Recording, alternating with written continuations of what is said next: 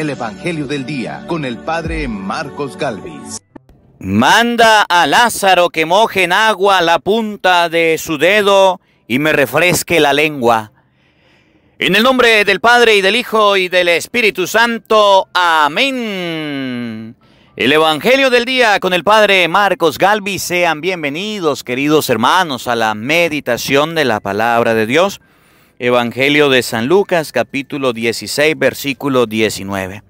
En este Evangelio, en la primera parte, vamos a observar cómo es un pobre o las características que el Evangelio da de un pobre. Y en la segunda parte voy a responder a esa pregunta que hacen los protestantes. ¿Puede la Virgen María que se murió o un santo interceder por los vivos? Lo vamos a ver con la Biblia, que sí puede interceder un muerto por los vivos. Le voy a dar capítulos y les voy a dar versículos. Quédese a escuchar este Evangelio para que usted aprenda esta enseñanza. Evangelio de San Lucas, capítulo 16, versículo 19 al 31. Oído al tambor, paren la oreja. Los buenos somos más y llegó la hora de evangelizar. Lectura del libro del profeta Jeremías.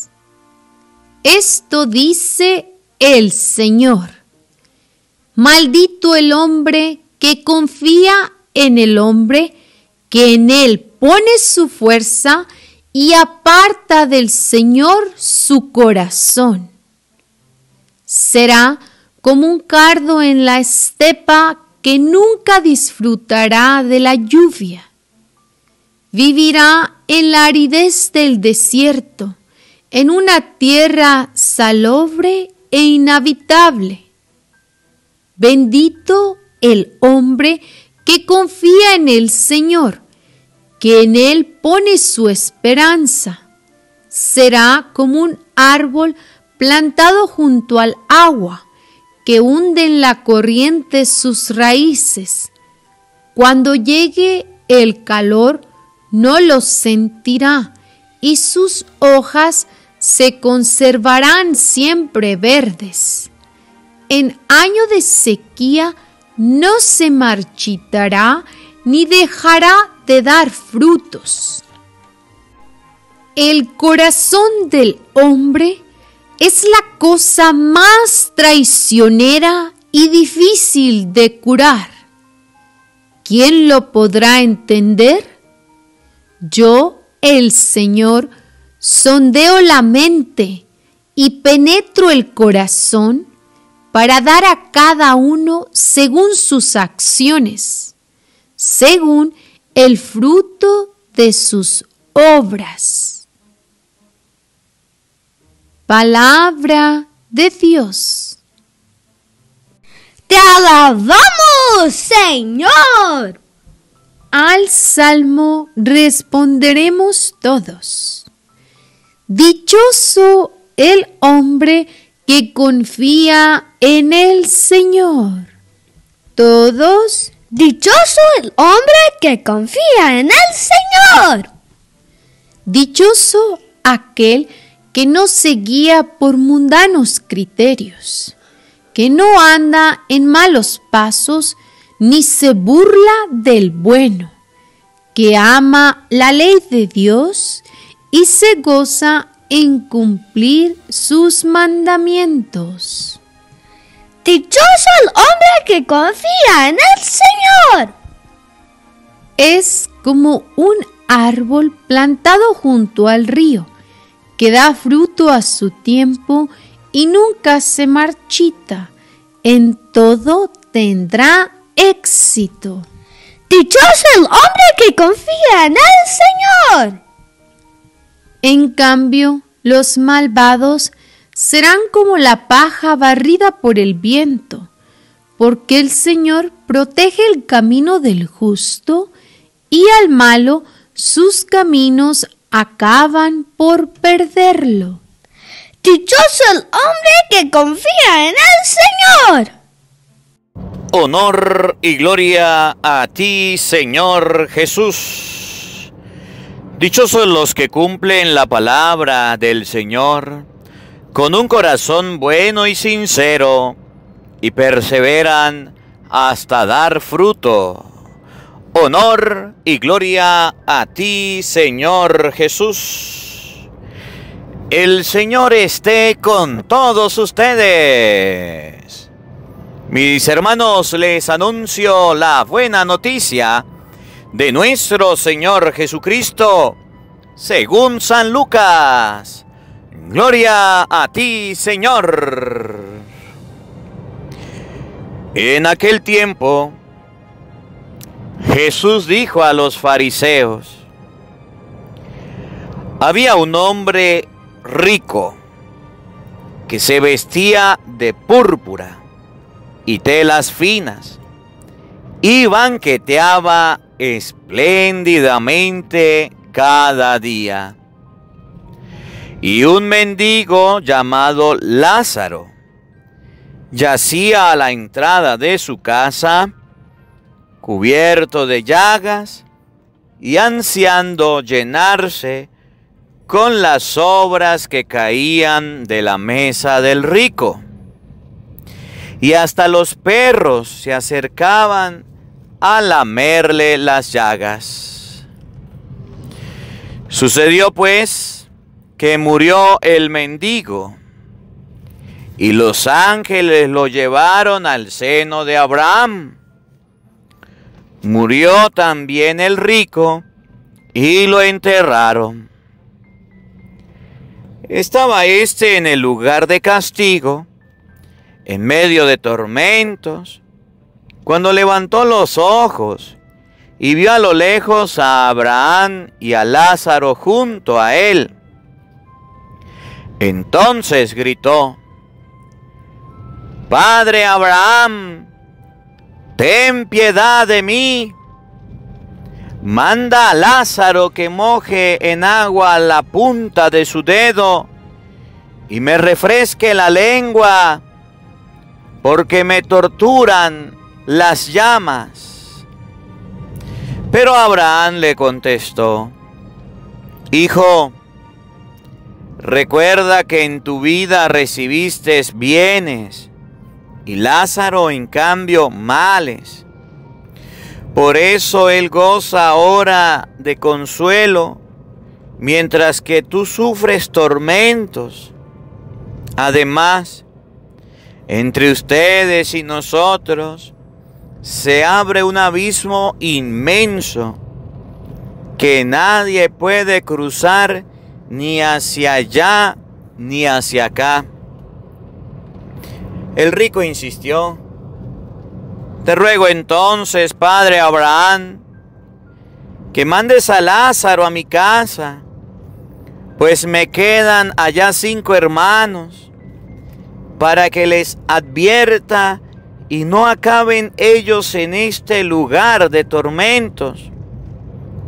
Abraham le dijo, tienen a Moisés y a los profetas que los escuchen. Pero el rico replicó, no, padre Abraham, si un muerto va a decirles, entonces sí se arrepentirán. Abraham repuso, si no escuchan a Moisés y a los profetas, no harán caso, ni aunque resucite un muerto.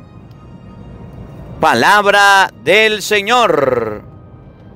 Gloria a ti, Señor Jesús.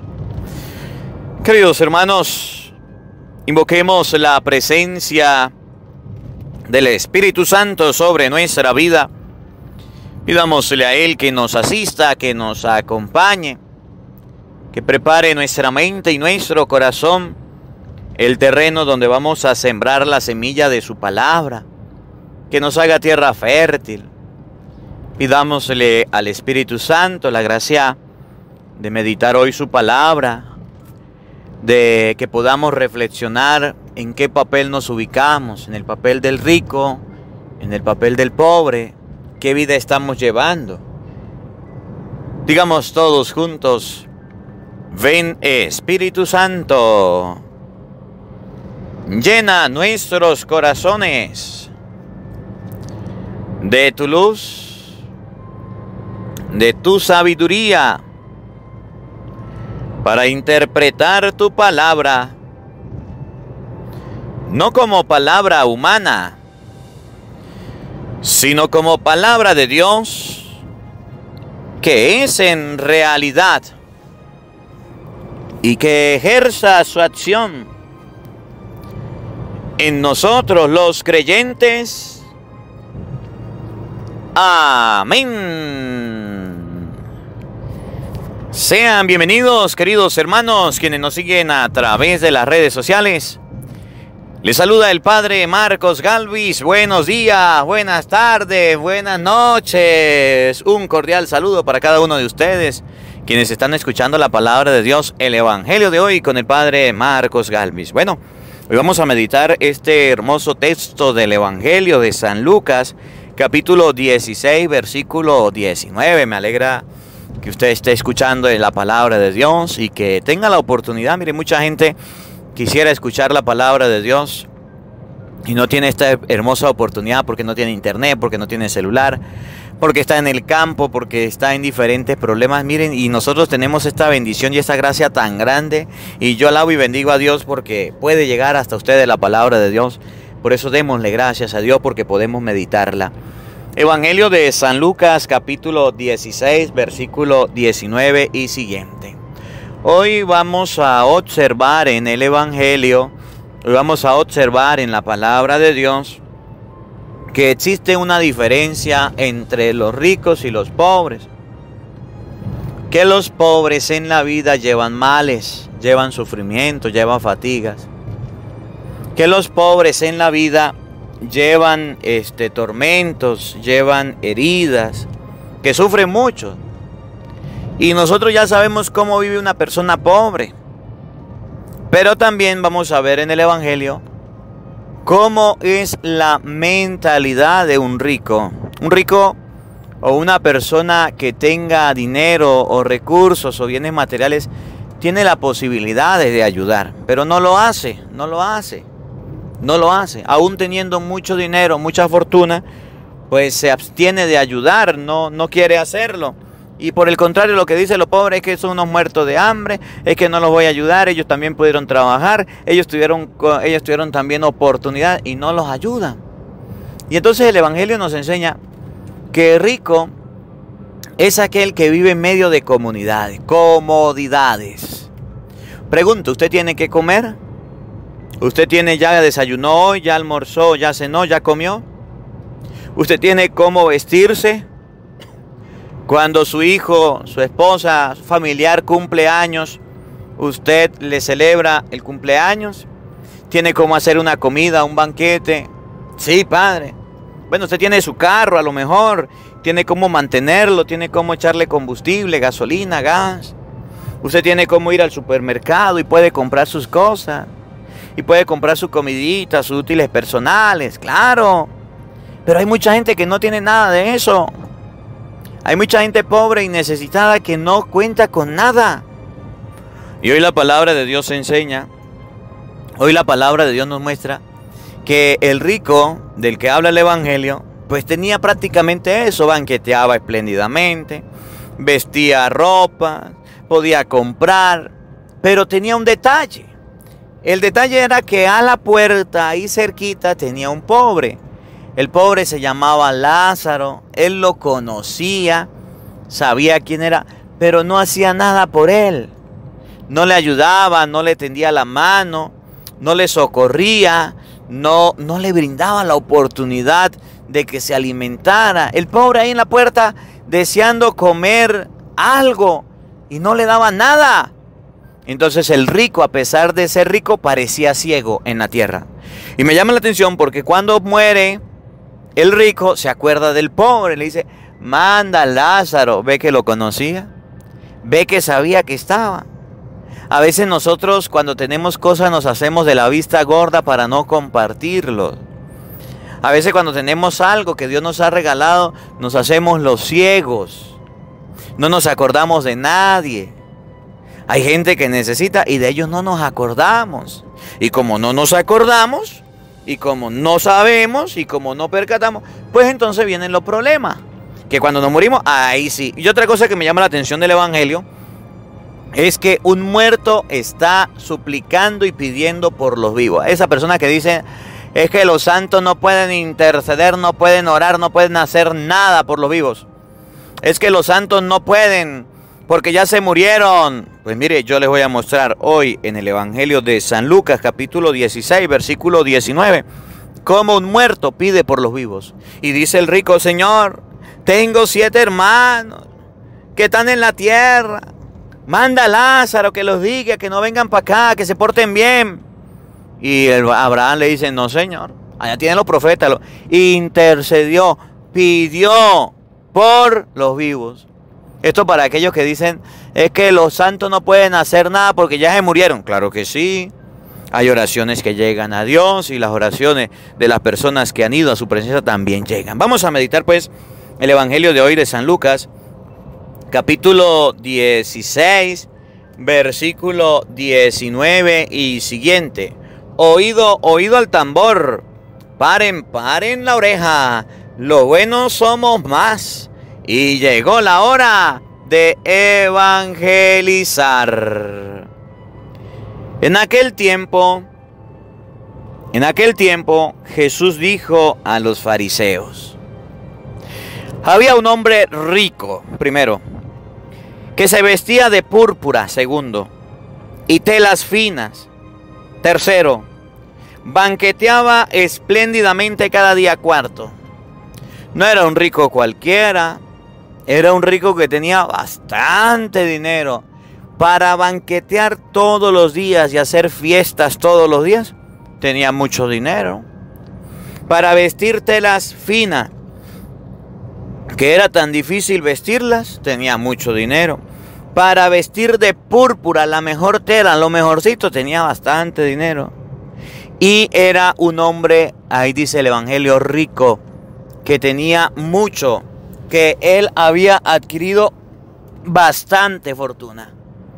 El Evangelio relata, resalta, muestra al hombre como una persona de la alta sociedad, como una persona que podía vivir que podía vestir y que podía comer. Era rico, tenía comodidad. Vestía de telas finas y púrpuras, tenía vestido. Y tercero, eh, comía. El rico era el que tenía dinero, tenía ropa y tenía comida. Pregunto, ¿usted tiene dinero? Sí, padre. Le felicito. Ya eres parte del rico. Eh, pregunto, ¿usted se viste? Sí, padre, muy bien. ¿Y usted come todos los días? Sí. Entonces la palabra de Dios nos quiere enseñar en este día que rico no es aquella persona que tiene muchísimas cantidades de dinero solamente. Que los ricos son los multimillonarios solamente. No. Que los ricos son los que tienen muchísimas propiedades. No. La palabra de Dios nos enseña que rico, que la persona que es mirada con agrado, que puede vivir, que puede comer, que puede vestirse y puede tener algo de dinero, es considerado una persona rica. Una persona rica en la gracia de Dios tiene sus manos, tiene sus pies, tiene todo. Entonces a veces nosotros nos quejamos y decimos, es que si yo fuera rico, mire padre, si yo me ganara la lotería, si no yo me ganara este, el, gordo, el, el premio más gordo, yo ayudar, mentira. ¿Cuántas personas se lo han ganado y no han ayudado a nadie? ¿Cuántas personas se lo han ganado y no han podido hacer nada? El rico es aquel, según la Biblia, que tiene dinero, tiene, tenía riqueza. Segundo, que tiene ropa. Y tercero, que tiene comida. Si usted tiene estas tres cualidades, usted ya está en el lugar del rico. No de multimillonario, pero sí de rico porque tiene lo necesario para vivir. Escuchen, y un mendigo, miren lo que era el mendigo, llamado Lázaro, yacía en la entrada de su casa. Primero, Lázaro no tenía casa. ¿Usted tiene casa? Entonces usted no le puede decir que es Lázaro. Lázaro vivía en la puerta de la casa del rico. No tenía dónde vivir. Ahora otra característica del rico, tenía casa. Una característica de una persona pobre no tiene casa. Si usted tiene un ranchito, si usted tiene una casita, usted no le puedo decir que es Lázaro. Lázaro podemos decir que son aquellas personas que viven como mendigos, que viven del timbo al tambo, que no tienen dónde acostarse, dónde dormir. Donde le llegue la noche, ahí se acuestan y ahí duermen. Así era Lázaro. Nosotros podemos decir, es que yo soy como Lázaro, pobre. No, señor, usted tiene casita, usted tiene hasta carrito, usted tiene cómo movilizarse. Hay muchas que no lo tienen, muchos que no tienen esta oportunidad. El pobre vivía en la entrada de la casa, yacía, ahí estaba, en la entrada de la casa del rico. Estaba cubierto de llagas, estaba enfermo. El pobre Lázaro no podía valerse de sí mismo, se estaba pudriendo. No tenía ni siquiera cómo comprar la medicina. Usted se enferma y va un momentico a su casa, en el cajón, en la gaveta o encima de la mesita de noche. En cualquier lado tiene una pastillita para aliviar el dolor. Aquel Lázaro, aquel pobre no tenía ni medicina. Y entonces nosotros decimos, somos pobres, somos pobres. Mentira. Miren la pobreza realmente. No tenía cómo comprar medicina, estaba cubierto de llagas. Oigan, y ansiaba llenarse con las obras que caían de la mesa del rico. No tenía cómo alimentarse no tenía comida, ansiaba llenarse, ansiaba comer algo, ansiaba alimentarse con las sobras que caían de la mesa del rico. Pregunto, ¿usted tiene su comida? ¿Usted hoy ya comió? ¿Usted hoy ya se alimentó, padre? Pero comí puro arrocito, pero comió. Es que tomé pura sopita porque no tenía más, pero comió algo. Es que pude agarrar una yuquita, unos platanitos, fue lo que pude comer hoy con un huevo frito, pero comió. Del pobre que habla el Evangelio nos muestra que era una persona que no tenía casa, que estaba enfermo, que no tenía ni siquiera comida. A veces nosotros decimos somos pobres, somos pobres, somos pobres pero tenemos comida, tenemos salud, tenemos ropa, tenemos casa. Oye, no somos tan pobres entonces. No somos personas tan, tan, tan, tan, tan, tan, tan pobrísimas que no tengamos nada. Oigan. Y entonces, ¿por qué en la mente tenemos eh, la concepción de que decimos somos pobres? Claro, para decir que no podemos ayudar a nadie. Nos escondemos en la apariencia de ser pobres para decir yo soy pobre y soy el que necesito yo soy pobre y no puedo dar nada. Yo sí necesito, el otro no necesita, yo sí. Y usted revisa en la dispensa, tiene algo de comida. Usted revisa en la cajita ya de medicina, tiene algo de medicina. Usted revisa el closet y tiene ropa sucia, pero la tiene. Usted mira dónde vive y tiene casa. Miren el pobre, miren el pobre que abra el Evangelio. No tenía casa, estaba enfermo, no tenía comida, tenía llagas, tenía hambre, no tenía dónde vivir. Eso es un pobre. Padre, yo soy pobre. ¿Qué cuento de pobre? Usted tiene algo donde vivir. No nos quedemos con esa mentalidad. Porque a veces esa mentalidad se nos mete a la cabeza a nosotros, esa forma de pensar y de decir, para obtener la conveniencia de no ayudar a nadie, de decir yo no ayudo a nadie porque soy pobre, yo no ayudo a nadie porque no tengo nada, yo no ayudo a nadie porque yo soy una persona demasiado pobre, extremadamente pobre. Mucho cuidado, mucho cuidado. Oigan, Escuchen, presten atención. Y hasta los perros, hasta los perros se acercaban a lamerle las llagas. Miren, hasta qué punto nos describe la palabra de Dios la pobreza de Lázaro. No podía tener salud y las llagas estaban estaban botando una agüita y llegaban los perros y le lamían la llaga. Estaba bien enfermo. Miren que el pobre sí era bien pobre. Miren que el pobre era un sufrido. Y entonces nosotros a veces decimos, mire, tenemos vida, no, no estamos enfermos. Ah, yo soy pobre. ¿Qué cuento de pobre? Eh, tengo mi casa, yo soy pobre. ¿Usted es pobre? Pero mi casa, mire cómo está, toda sucia, toda puerca. Pues ¿por qué no la limpia? ¿Por qué no la arregla? Cochino, porque no vive decentemente. Usted puede no tener muchas comodidades, pero si tiene su casa, arréglela, ordénela, límpiela al menos.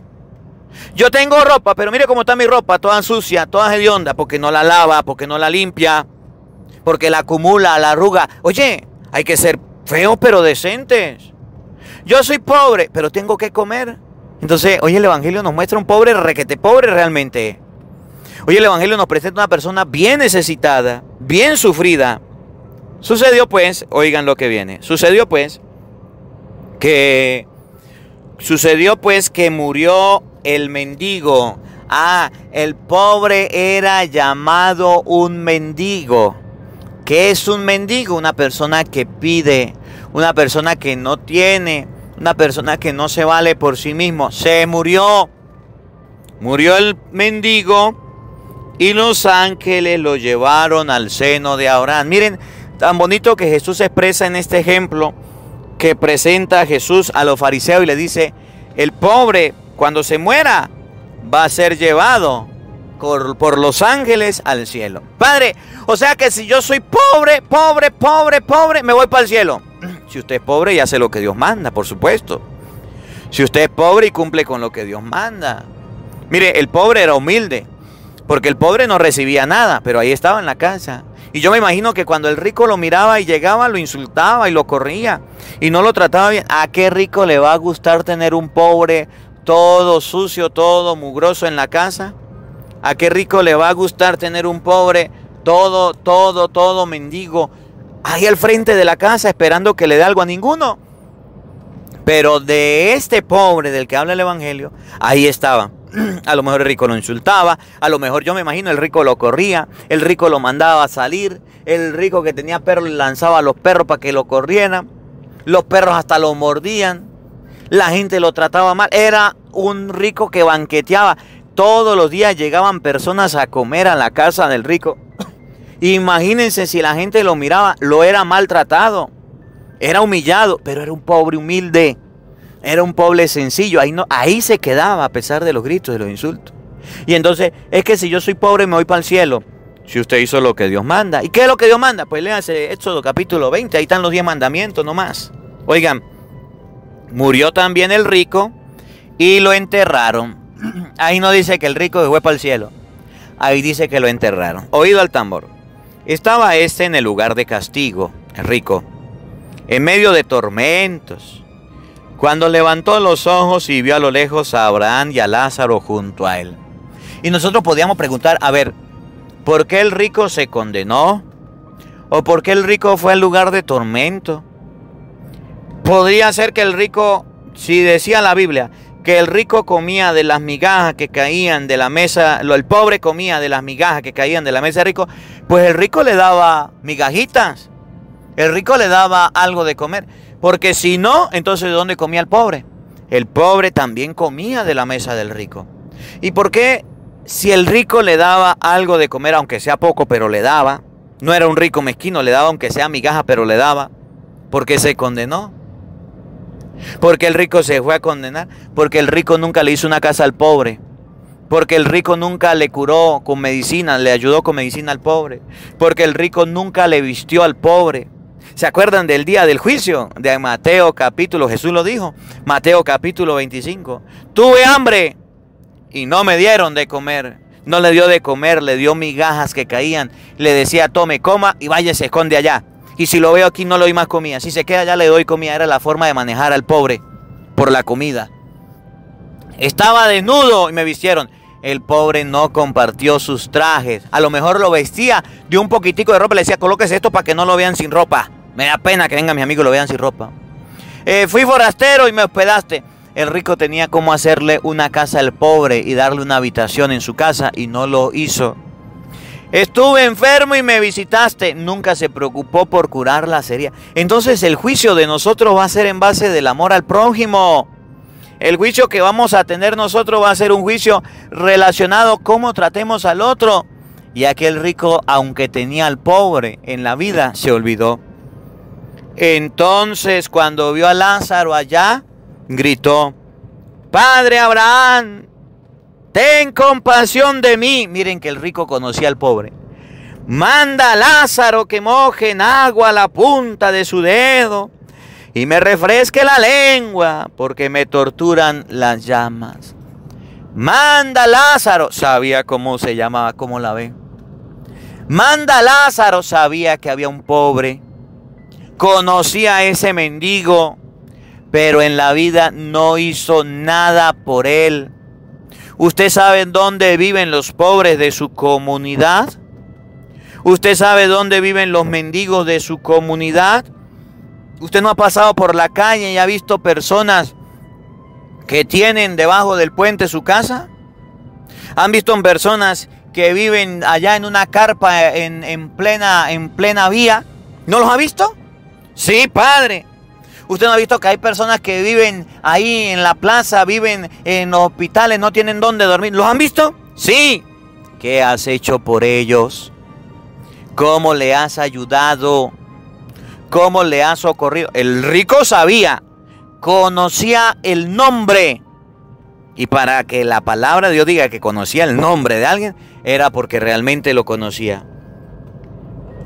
Manda a Lázaro, le dijo el rico, pero Abraham le contestó, hijo, recuerda que en tu vida recibiste bienes y Lázaro en cambio males.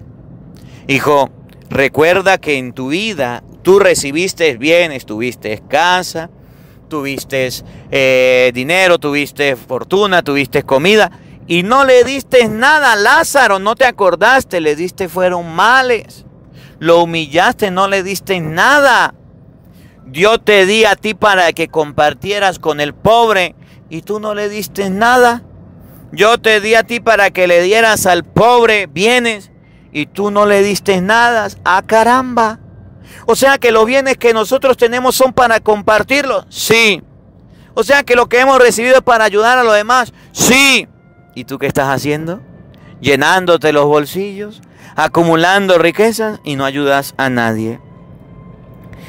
Por eso Lázaro ahora goza del consuelo, mientras que tú sufres tormentos. Además, entre ustedes y nosotros se abre un abismo que nadie puede cruzar ni de aquí hacia allá, ni de allá hacia acá. Y dice la palabra de Dios que después de que uno se condena no sale del infierno por nada. ¿Y cuánta gente aún teniendo riquezas, no las quiere compartir. Bueno, y para terminar, el rico insistió, te ruego entonces, Padre Abraham, que mandes a Lázaro a mi casa, pues me quedan allá cinco hermanos, para que les advierta y no acaben también ellos en este lugar de tormento. Miren, un muerto, un muerto, dice el Evangelio de hoy, que un muerto estaba pidiéndole a Dios, orando, intercediendo ante el Señor. Un muerto estaba intercediendo ante Dios por los vivos, como la ve. Y dicen los protestantes, los muertos no pueden interceder por los vivos. ¿Dónde dice la Biblia que la Virgen María, San José y los santos pueden interceder por lo vivo? Ahí se lo estoy mostrando. Evangelio de San Lucas, capítulo 16, desde el versículo 27, puede leerlo en adelante. Padre Abraham, tengo varios hermanos allá en la tierra. Manda Lázaro, por favor, para que vaya y les diga y no acaben en este lugar de tormento. ¿Cómo la ve? Y mire, y quiero, y quiero este, hacer la, la salvedad.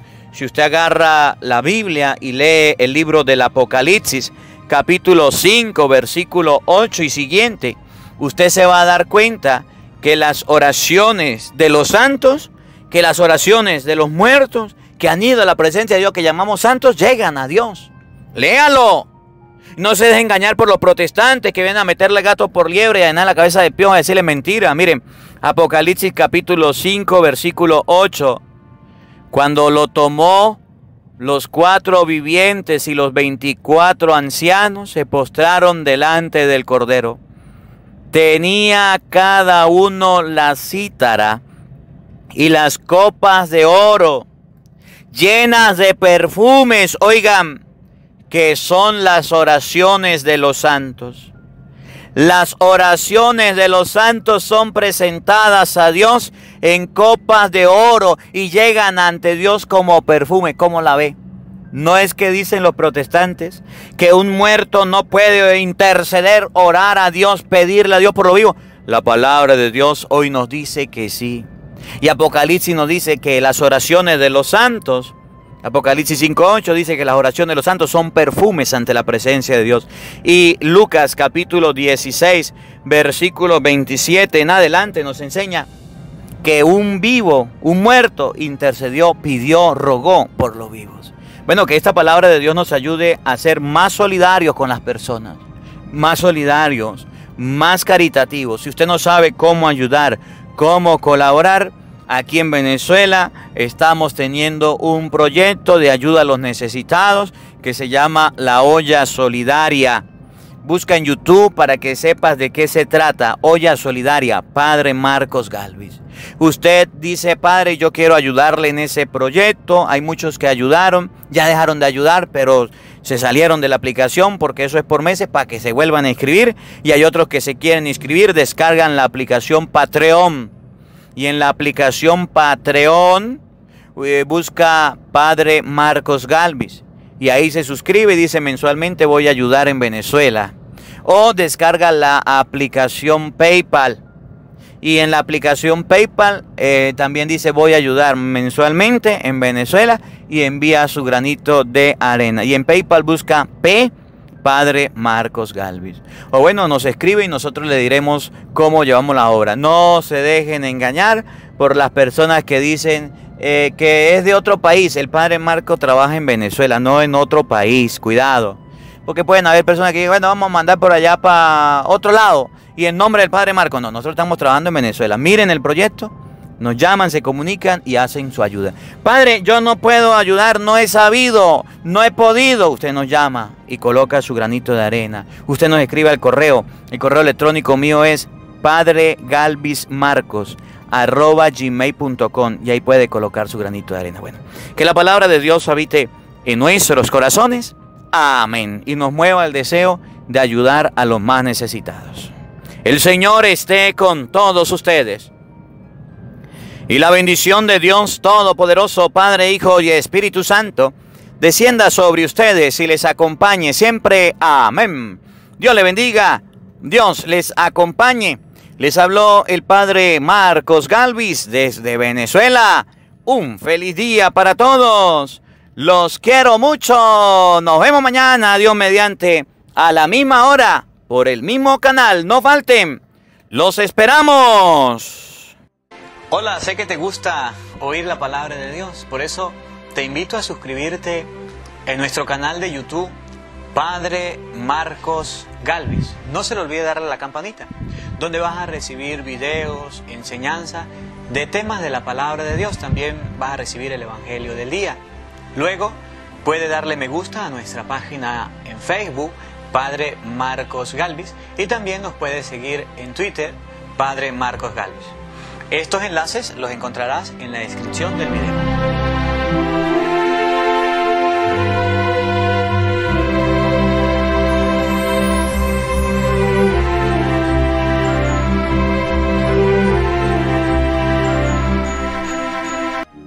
Porque no solo de pan vive el hombre, sino de toda palabra que sale de la boca de Dios. El Evangelio del Día con el Padre Marcos Galvis.